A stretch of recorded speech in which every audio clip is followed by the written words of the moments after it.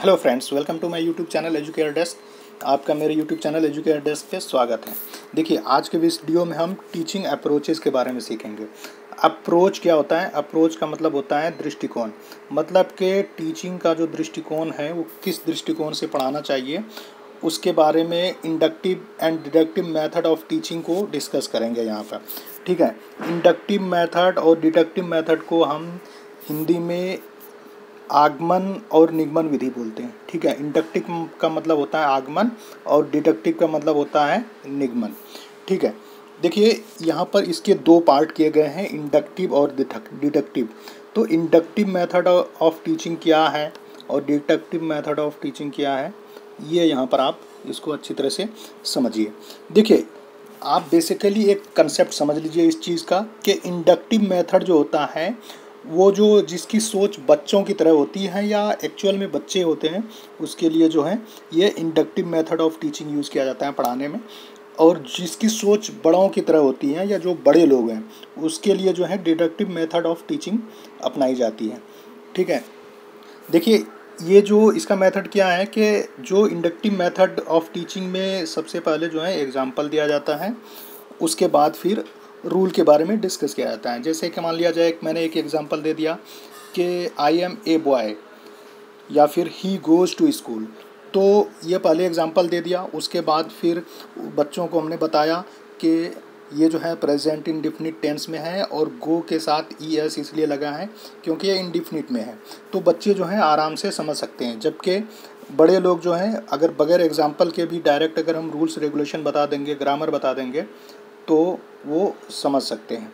ठीक है तो आपको ये समझ में आ गया होगा कि एग्ज़ाम्पल टू रूल और रूल टू एग्ज़ाम्पल में क्या फ़र्क है। इसी तरह से सिंपल टू कॉम्प्लेक्स हैं, जैसे बच्चे तो बच्चे होते हैं या बच्चों की जो सोच होती है तो उसके हिसाब से उनको बताना पड़ेगा। सिंपल टू कॉम्प्लेक्स पहले सिंपल सी चीज़ बताएँगे, उसके बाद फिर हार्ड की तरफ़ जाएँगे। उसी तरह से अगर हम डिटेक्टिव मेथड में क्या होता है कि पहले हम हार्ड बता देते हैं और जानते हैं कि सिंपल तो जानता ही होगा, या जान लेगा बाद में। ठीक है, इसी तरह से नोन टू अननोन का मतलब है कि बच्चों को अगर बच्चे पहले से ही कोई चीज़ जानते हैं, उसके बाद उससे रिलेटेड अगर कोई चीज़ अगर उसको बताते हैं तो वो बच्चे अच्छी तरह से समझ सकता है। तो नोन टू अननोन मेथड जो है, ये इंडक्टिव मेथड है और अननोन टू नोन जो है, ये डिडक्टिव मेथड है बड़े लोगों के लिए है। ठीक है, इसी तरह से स्पेसिफिक टू जनरल जनरल का मतलब स्पेसिफिक जैसे कुछ ख़ास चीज़ है और मैंने एक एग्ज़ाम्पल दिया बच्चे को कि देखो तुम्हारे पास एक कुत्ता है और ये भूख रहा है। तो इसका मतलब वो समझ में आ, बच्चों को ये समझ में आया कि कुत्ता जो मेरे पास है वो भूखता है।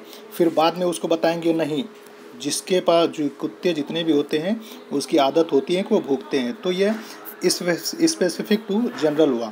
इसी तरह से बड़े लोगों को ये भी बताया जाता है कि सारे कुत्ते जो हैं भूखते हैं। तो जनरली उसको बता दिया, फिर स्पेसिफिक करके भी किसी चीज़ को हम बता सकते हैं कि देखो, ये कुत्ता जो है स्पेशली इस तरह से मतलब कि आवाज़ें निकाल रहा है, जो अलग हट करके हैं। ठीक है, इसी तरह से बॉटम अप अप्रोच जो होता है, वो इंडक्टिव मेथड में आता है, जो नीचे से बॉटम से लेकर के अप्रोच करते हैं, और वो जो डिडक्टिव मेथड है, वो डॉ अप टॉप डाउन अप्रोच है ये, ऊपर से लेकर के नीचे तक आते हैं। इसी तीसरे तरह से कंक्रीट टू ऑब्स्ट्रैक्ट हैं कि कोई बच्चा है, उसको अगर इमेज बना बना करके या दिखा करके अगर उसको किया जाए या छू करके उसको दिखा, किया जाए तो वो अच्छी तरह से समझ सकता है या पहचान सकता है और बाद में फिर उसके बारे में विशेषताएँ बताई जाए। तो ये कंक्रीट जो होता है, वो मूर्त है और अब्स्ट्रैक्ट जो होता है, अमूर्त। अमूर्त का मतलब जो आइडियाज़ हैं थिंकिंग है, जिसको हम छू नहीं सकते हैं, महसूस कर सकते हैं। ठीक है? इसी तरह से जो है डिडक्टिव मेथड में आता है अब्स्ट्रैक्ट टू कंक्रीट का मतलब कि जो आइडियाज़ पहले हम बताते हैं, उसके बाद फिर उसको एग्ज़ाम मतलब कुछ चीज़ें दिखा करके एग्जांपल दे करके समझाते हैं। और सबसे लास्ट में है कि ये जो है फ़ेमस हैं एलिमेंट्री क्लासेस में बच्चों के लिए और बड़ों के लिए जो है सीनियर क्लासेस में डिडक्टिव मेथड फ़ेमस है। ठीक है, और मैंने सारा जो इस टॉपिक का डिस्कस ही मतलब के बच्चों और बड़ों को लेकर के किया है ताकि ये आपको अच्छी तरह से समझ में आ जाए। ठीक है तो मुझे उम्मीद है कि ये जो कुछ भी मैंने बताया आपको समझ में आ गया होगा।